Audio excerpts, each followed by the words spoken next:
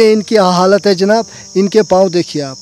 इनके पाँव देखिए, ये आदमी चल भी नहीं सकता है उतना और सिर्फ़ बैठा रहता है दिन को। चलने की इसमें ताकत नहीं है। जहाँ लोग आज एसीयू में रहते हैं और थोड़ी देर लाइट जाती है, वो उन लोगों को पता है कि कितना मुश्किल होता है इस गर्मी में उस एसी वाले कमरे में रहने बगैर लाइट के लेक भी उस किचन के पीछे खर्चा करते और जहाँ रहने ऐसा लगता है कि मैं जन्नत में हूँ। लेकिन ये इस मेरे छोटे भाई का किचन है और ये चूल्हा है, ये बर्तन है इनके और ये ऊपर से टीन का शेड है। आप समझ सकते हो इस गर्मी में, यानी कि 45 डिग्री गर्मी में इस मजबूर होकर इस टीन के शेड में ये रहता है। आदाब, आप देख रहे जे के दास्ता हूँ आपका मेज़बान नायक इम्तियाज़। इस वक्त हम सुजवा इलाके में हैं। हमारे साथ एक ख़ास शख्स मौजूद है। ख़ास शख्स में इसलिए बोल रहा हूँ कि आगे पीछे जब हम ख़ास शख्स बोलते हैं उस आदमी ने कोई नाम कमाया होता है। किसी अहदे पे वो फारिज हुआ होता है किसी अहदे पे बैठा हुआ होता है। लेकिन इस वक्त हम ख़ास इसलिए बोल रहे हैं कि ये इस हालात के हिसाब से बहुत ही ख़ास है। इन्हीं से जानेंगे हम क्या वजह है क्या प्रॉब्लम है। जी भाई क्या नाम है आपका? मोहम्मद शरीफ। ये मोहम्मद शरीफ है। कहाँ के हो आप? मैं रियासी। बेसिकली ये मोहम्मद शरीफ रियासी का है वालदी? वल्दी। डैडी का नाम। गुलाम। गुलाम हुसैन। ये मोहम्मद शरीफ वालद गुलाम हुसैन है जो रियासी का रहने वाला है। और ये इनका ये कहना है कि आए रोज़ मैं बुरी हालात में मुबतला हूँ यानी कि खाने के लिए भी इनको एक टाइम पे कुछ नहीं मिलता है। इन्हीं से जानेंगे हम इनका क्या कहना है। शरीफ भाई इधर कितना टाइम हो गया आपको जम्मू में? जम्मू में?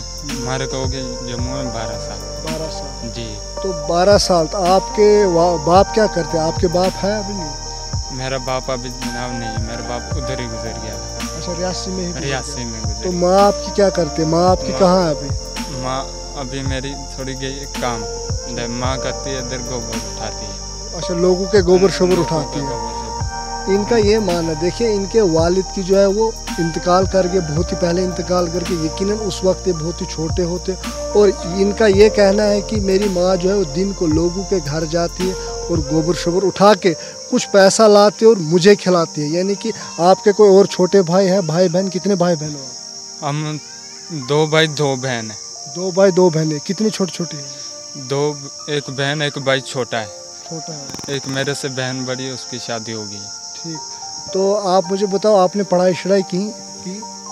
जहाँ पंचवीं तक पढ़ा उससे आगे नहीं पढ़ा था। पढ़ाई भी क्या करेंगे? खाने के लिए एक वक्त की रोटी इनको नसीब है तो पढ़ाई कहाँ से करेंगे? इनका ये मानना है कि माँ मेरी जो है वो सुबह जाती है लोगों के घरों में जाते गोबर शोबर उठाते झाड़ू मारते लोगों के घरों में कुछ वहाँ से लाती है और हमें खिलाती है। यानी कि कहने की मुराद ये है कि चुने हुए टुकड़े कुछ लाते और हमें खिलाते और ये एक बड़ी खास बात मैं आपको कहूँगा ये लड़का जो है वो अपाइच है। यानी कि पाँव, दोनों पाँव से माजूर मैं कैमरामैन को कहूँगा दिखाने की कोशिश करे, लो, जो हमारे देखने वाले जितने भी नाजरन देखने वाले ये इनकी हालत है जनाब। इनके पाँव देखिए आप। इनके पाँव देखिए, ये आदमी चल भी नहीं सकता है उतना, और सिर्फ़ बैठा रहता है दिन को। चलने की इसमें ताकत नहीं है। और मेरी ये लोगों से अपील रहेगी कि खुदारा इस आदमी की मदद कीजिए। जहाँ तक आपको हो सके इस वीडियो को शेयर करो, आला हुकाम तक पहुँचाए ये बात, ताकि इस माजूर की मदद हो। और उनका ये मानना है कि मेरे वालिद की जो है फोत होगी और इसके बाद इनका ये मानना है कि मेरी माँ जो है, वो लोगों के घरों में जाते, काम शाम करते, हमें रोटी शोटी खिलाती है। और खुद जो है वो ये माजूर है इधर उधर जा नहीं सकते। अब लोगों से ये अपील रहेगी और ख़ासकर एडमिनिस्ट्रेशन से, खासकर एडमिनिस्ट्रेशन और सोशल वेलफेयर डिपार्टमेंट से। भैया, कोई पेंशन वेंशन मिलती है आपको सरकार की तरफ़ से? आज तक? कोई आपके पास आज तक आया मदद करने के लिए किसी लिहाज से? कुछ नहीं आया। कुछ नहीं। तो ये घर आपका ही है बनाया हुआ? भाई मेरा ही। अच्छा इसी कच्चे घर में रहते हो?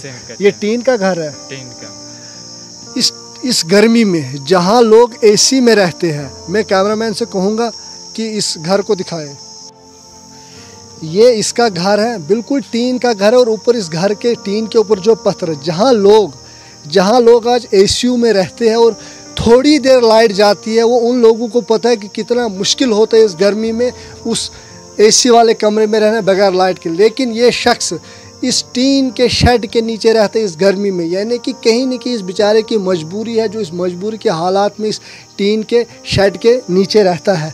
कहीं ना कहीं मैं एडमिनिस्ट्रेशन की मोदबाना गुजारिश करता हूँ सोशल वेलफेयर से, ताकि किसी हिसाब से इसकी मदद कीजिए। ये इसका दूसरा कमरा जिसे हम किचन कहते हैं।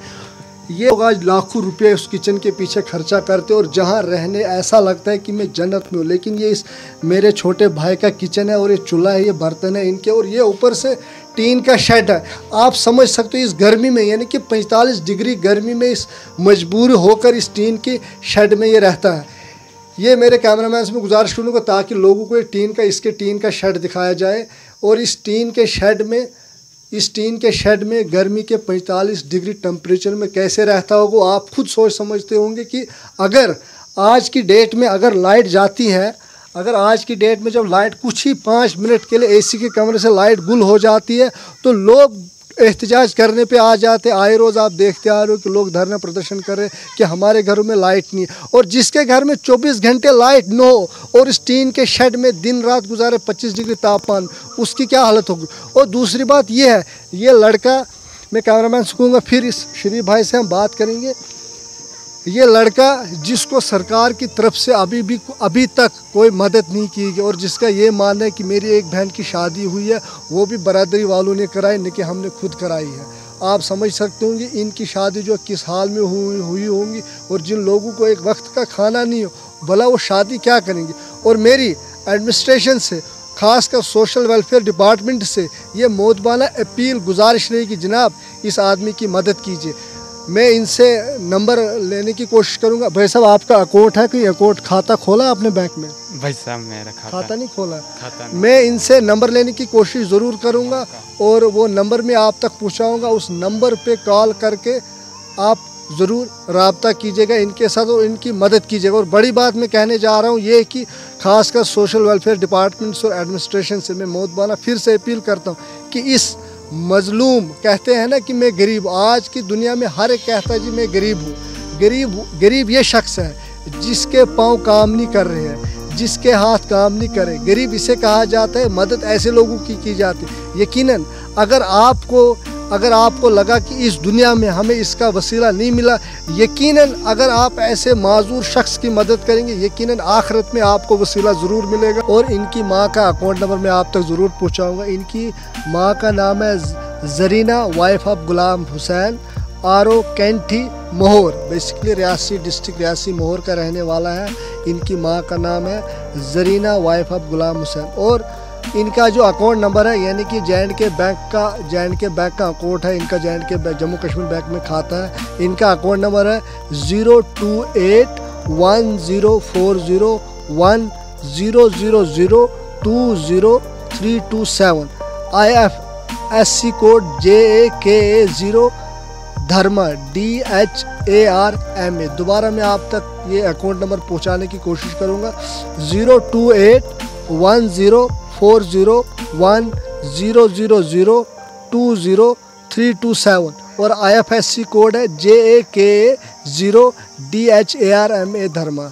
ज़रूर मुझे यकीन है कि आप इस अकाउंट के ज़रिए इनको ज़रूर मदद करेंगे और इस भाई का नंबर है seven zero five one zero three four two five nine. दोबारा से मैं नंबर इसलिए कह रहा हूँ क्योंकि इस भाई का कोई अकाउंट नहीं है। नहीं, इसको पता है कि वो अकाउंट खोलना क्या होता है। लेकिन फ़ोन नंबर इनके पास ज़रूर है और इनका ये मानना है कि मेरी माँ जो है वो किसी के घर काम करने की, ताकि शाम का खाना हम खाएँगे।